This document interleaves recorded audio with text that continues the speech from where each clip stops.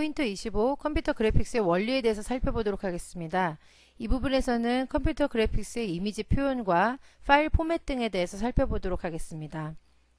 컴퓨터 그래픽스에서는 이미지를 표현할 때 픽셀이라는 단위로 이미지를 표현합니다. 픽셀은 picture와 element의 합성으로 이미지의 최소 단위를 말합니다. 한 픽셀은 색상 정보를 가지며 위치 정보를 갖습니다. 위치 정보는 직교 좌표계의 XY 좌표값으로 표시가 됩니다. 픽셀은 비트 심도를 갖는데요. 이 비트 심도는 하나의 픽셀이 나타낼 수 있는 색상의 수를 의미합니다. 한 픽셀에 배정된 비트 수가 많을수록 색상을 많이 표현할 수 있게 됩니다. 예를 들어서 어떠한 픽셀에 색상을 표현하기 위해서 1비트가 주어져 있다고 가정한다면 그 픽셀은 0 아니면 1이라는 두 가지 색상밖에 갖지를 못합니다. 또한 하나의 픽셀의 색상을 표현하기 위해서 비트 심도가 8비트일 경우에는 2의 8승인 256가지의 색상을 나타나게 됩니다. 8비트가 모두 다 8개의 0으로 채워진 것과 모두 다 1로 채워진 것까지 0부터 255 십진수를 갖는 256가지 색이 됩니다. 비트 심도가 16비트일 경우에는 65,536색, 또한 한 개의 픽셀의 색상을 표현하기 위해서 24비트라는 비트 심도를 갖게 될 경우 1677만 7216색을 갖게 됩니다. 약 1670만 가지라고 표현합니다. 비트 심도가 32비트일 경우에는 24비트에다가 투명도를 가진 알파 채널 8비트를 이용하게 됩니다. 따라서 비트맵 이미지에서는 비트 심도가 클수록 더 많은 색상을 표현할 수 있게 됩니다. 해상도입니다. 먼저 이미지 해상도는 비트맵 이미지가 몇 개의 픽셀로 구성되어 있는가를 말합니다. 이미지 해상도는 기본 단위당 들어가는 픽셀의 개수로 표현이 되고 쉽게는 인치당 들어가는 픽셀의 개수로 표현을 합니다. 이미지 해상도는 이미지의 품질을 좌우하는 요소 중 하나가 됩니다. 이미지 해상도를 나타내는 단위는 다음과 같은 것들이 있는데요. 먼저 PPI는 1인치당 들어가는 픽셀의 개수를 의미합니다. 이것은 이미지나 모니터 해상도를 나타낼 때 사용이 됩니다.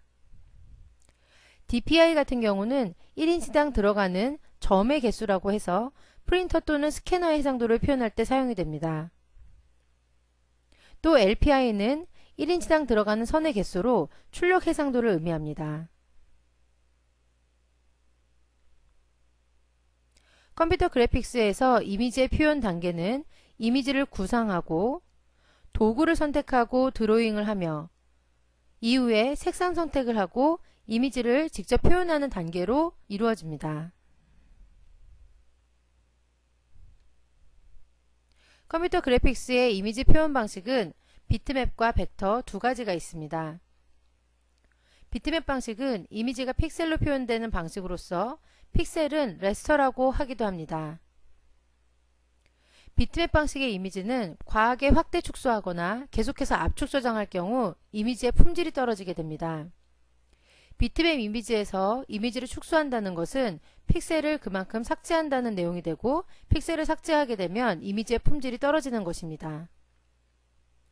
비트맵 이미지는 이미지의 보정과 합성 작업에 잘 활용이 되는데요. 그 이유는 비트맵 이미지에서는 픽셀 한 칸 한 칸마다 색상을 표현하기 때문에 풍부하고 세밀한 색상 표현이 가능하다는 것입니다. 비트맵 이미지를 활용하는 툴로서는 포토샵과 Painter가 있습니다. 비트맵 이미지를 나타내는 파일 포맷으로는 BMP, JPG, GIF, PCX 등이 있습니다. 컴퓨터 그래픽스에서 이미지 표현 방식의 또 다른 것은 벡터 방식입니다.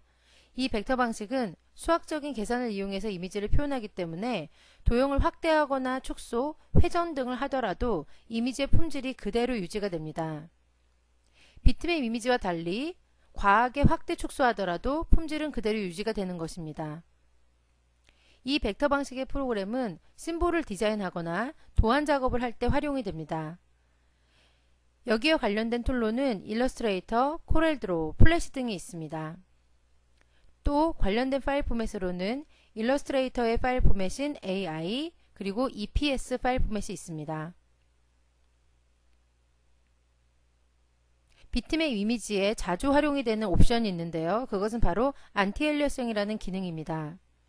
이 anti-aliasing은 비트맵 이미지에서 픽셀이 사각형이기 때문에 곡선 부분에서 들쑥날쑥하게 보이게 되는 층계 현상을 감쇄시키기 위해서 사용하는 것입니다. 오른쪽 상단의 그림을 보시면 비트맵 이미지를 확대한 이미지가 있습니다. 이미지를 확대한 경우에 곡선 부분을 보시면 층계처럼 사각형들이 보이는 것을 보실 수 있을 겁니다. 자세히 보시면 픽셀의 색상이 진한 색상에서 흐린 색상으로 전이되고 있는 것이 보일 겁니다.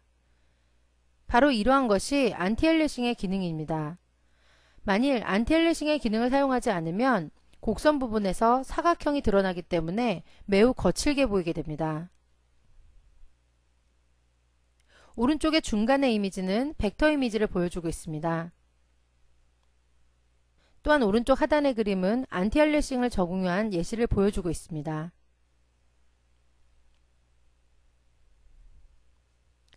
컴퓨터 그래픽스의 이미지 색상 체계입니다. RGB의 경우 모니터나 빔 프로젝터에서 사용하는 방식으로 red, green, blue라는 색광을 이용해서 색을 표현하는 방식입니다. 색료가 아닌 색광, 색빛을 이용하기 때문에 더하면 더할수록 밝아지는 가산혼합의 특징이 있습니다. RGB 방식에서는 RGB 값이 모두 0이 되면 모니터에서 black으로 나타나고 모두 255, 255, 255가 되면 모니터상에서 화이트로 나타나게 됩니다. 즉 RGB 값이 모두 켜져 있는 경우 색광이 모두 채워진 경우는 화이트로 나타나는 것입니다. CMYK의 경우에는 인쇄 결과물을 위한 프린터 방식으로 우리가 인쇄를 하게 될 때 사용하게 되는 방식입니다. 이것은 사이안, 마젠타, 옐로, 블랙이라는 잉크를 이용해서 이것을 혼합해서 색상을 표현하기 때문에 감산 혼합 방식이 됩니다. CMYK 네 가지 색을 각각 분해해서 네거티브 필름을 만듭니다. 이것을 색분해라고 합니다. 흔히 인쇄물을 인쇄할 때 사도 인쇄라고 부르는 것이 바로 CMYK 이렇게 네 가지의 색상을 분판으로 만들어서 인쇄하는 경우를 말합니다. HSB 컬러가 있는데요. 이것은 Hue, Brightness, Saturation 이 세 가지로 구성한 것을 말합니다. 색상은 표준 색상왕에서 0도부터 360도 사이의 값으로 표현이 되고 밝기는 검정색 0%부터 흰색 100%의 값으로 표현이 됩니다. 블랙 컬러의 경우에는 국제조명협회가 국제 표준으로 제안한 컬러 방식입니다. 그레이스케일은 회색 음영으로 이미지를 구성하며 인덱스 컬러는 256가지 색상을 선별해서 이미지를 표현합니다. 오른쪽 상단에 보시면 RGB 컬러의 이미지를 보여주고 있습니다. 바로 아래의 사진은 귤을 보시면 귤에 등고선처럼 나타나는 부분이 있는데요. 이것은 RGB 컬러에서 나타낼 수 있는 색상의 수를 256단계로 줄인 결과 색상의 단계가 줄면서 등고선처럼 나타나게 된 것입니다. 두 번째 그림은 index color mode의 그림입니다.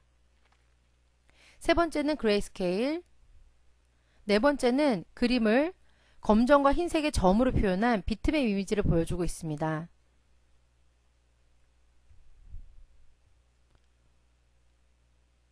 마지막으로 컴퓨터 그래픽스 파일 포맷에 대해서 보도록 하겠습니다. 웹에 사용되는 이미지 포맷으로는 JPG, GIF, PNG가 있습니다. 또한 이미지 파일 포맷 중에서 무손실 압축 알고리즘을 사용하는 파일 포맷으로는 GIF와 TIFF 그리고 PDF가 있습니다. 웹용 파일 포맷인 JPG는 연합 사진 영상 전문가 그룹에서 개발을 했고 24비트에 1670만 가지의 색상을 표현할 수 있습니다. 이것은 손실 압축을 사용합니다. GIF의 경우에는 컬러 수가 최대 256색으로 제한이 됩니다. 따라서 GIF는 indexed color mode를 사용합니다. 그러나 빠른 전송 속도 때문에 웹용 이미지로 많이 사용이 되고 있습니다. 또 GIF는 투명한 이미지를 만들 수 있고 애니메이션 표현이 가능합니다. GIF에서는 256단계의 색상수를 극복하고자 dithering이라는 기법을 활용합니다. dithering은 두 가지 다른 색상의 패턴 조합을 이용해서 새로운 색상처럼 보이게 하는 기술을 말합니다. PNG는 true color mode의 고해상도를 지원하는 파일 포맷입니다. GIF처럼 투명한 이미지 제작이 가능하고 무손실 압축을 사용합니다. TIFF, TIFF의 경우는 모든 종류의 시스템에서 호환되는 포맷 방식으로 인쇄를 목적으로 하는 용도로 쓰입니다. 또한 CMYK 컬러 사도 분판을 목적으로 인쇄 출력의 용도로 많이 사용하는 EPS가 있습니다. PDF의 경우에는 어도비 아크로벳 파일 포맷으로서 어도비에서 제안한 전자출판용 파일 포맷입니다. 마지막으로 포토샵 파일 포맷인 PSD 파일 포맷이 있습니다. 이것은 포토샵에서 편집을 할 때 layer나 효과 등에 저장되어 있는 원본을 저장하기 위한 파일 포맷입니다. 기타 파일 포맷으로는 음악과 사운드 포맷과 관련된 WAV, MP3, WMA, MIDI 파일 등이 있습니다. 동영상 파일 포맷으로는 MPG, AVI, MOV, SWF, FLV 등이 있습니다. FLV는 플래시 파일 포맷의 원본 파일로서 인터넷에 바로 올라가는 파일 포맷은 아닙니다. 여기까지 포인트 25 컴퓨터 그래픽스의 원리에 대해서 살펴보았습니다. 감사합니다.